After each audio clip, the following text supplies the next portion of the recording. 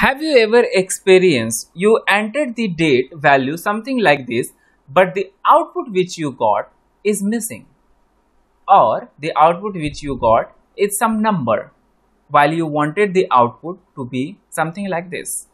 This is what we're gonna dis discuss in this video. So welcome to the channel and to understand the concepts very clearly, please watch the video till the end. Once you are done with watching the video, do not forget to like, comment, subscribe and hit the bell icon.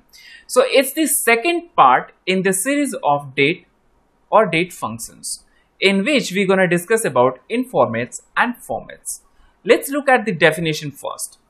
Informats, its definition says it's a specification for SAS to how to read the data. Meaning using the informats, you tell SAS how to use the, how to read the provided input. And using format, you tell SAS how to show the input data, whatever SAS has read. I mean, you tell SAS, dear SAS, whatever you have read, now you show that in this way as I'm saying. All right. So it's kind of instruction to SAS. Let's go to the SAS session and try an example. Create a sample data set which is test. Create a variable named date and then put the cards statement and enter a date value which is 1st Jan 1961. Sorry and then just run this.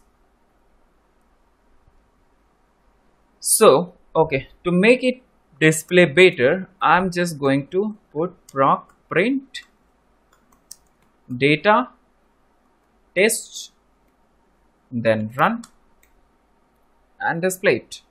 So here you can see it's missing value. Okay, now let's understand why is this happening. Okay? So here is the raw data which you entered.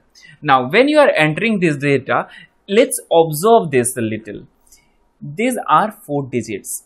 These are also digits these are also digits. But how about this? These are special characters all right so when you are providing a combination of special characters and numbers SAS gets confused how to read this what is this input data you are telling SAS to read and that is why SAS gives you the output as missing. SAS said, Dear sir, I cannot read the input data which you provided. So here is the output which is missing.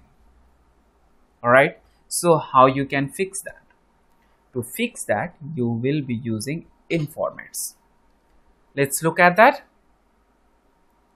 So you provide, you tell SAS, dear SAS, use this informat. Use this method. Informat could be a method for SAS to read the data. You tell SAS, SAS and try to understand the first two digits are date value, then it's a oblique, then second two digits are month and then again a special character which is oblique and this is the year value. So if you see these two dates are here, these two months are here and this four year digit value. Though here you see only 2y but when you are providing 10 that's the count of all these total. 4 2 2 it becomes 8 and these two special characters in total it becomes 10 so this is how you are telling SAS to read this in, input in this way. Now SAS will read that and display the output something like this. Now again this is a second problem. How to fix that? Why is it showing 366 before we go into that first let's go to the SAS session and try this thing. All right so here we are back to the SAS session and put that. Dd mmyy10 dot. Let's run this. And here you see it's 366 let's understand this. So why is it 366 let's understand. SAS has a counter date. I'm not sure. There are many stories behind this which you can google and understand. That counter date is 1st of jan 1960 so from this date sas takes the count of number of days so whatever date you provide if you provide any date after this day if for example if you are telling second jan here if you are providing second jan 1961 so instead of 366 you will get 2 no you will get 1 i'm sorry you will get 1 okay? Similarly as you keep on increasing you will get a positive value. If you if you put this date you will get 0 if you put any date after this you will get some positive numbers. If you get any if you put any date before this date then you will get some negative integer. Alright? So this is how SAS works. And this is how SAS display and takes the date value. Alright? So whenever you are inputting any date just put the in format and then SAS will read that and display that in the form of numbers which will be counted from this counter or from this cutoff date. Okay? Now what is the solution? Because this was not the purpose. If you display the date something like this nobody will be able to understand what does this mean. Okay? Because in normal case any human will understand this date value. Okay they will understand just this value. So to do so you just need to supply a format.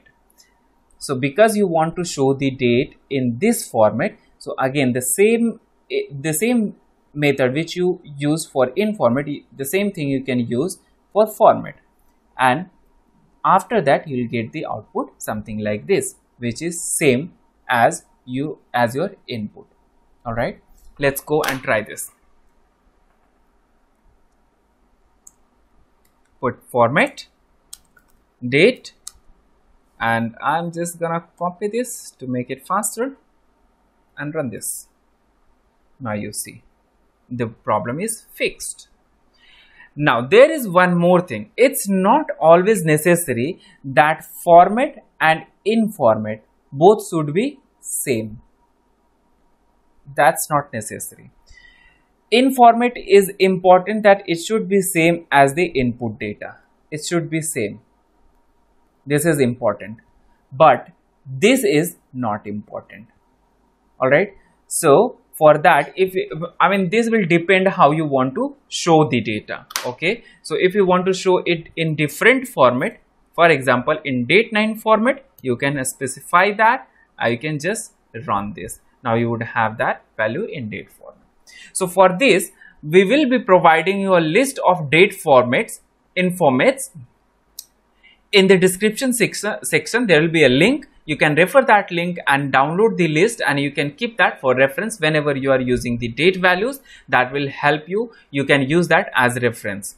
Okay? Thank you very much for watching the video. Wish you very good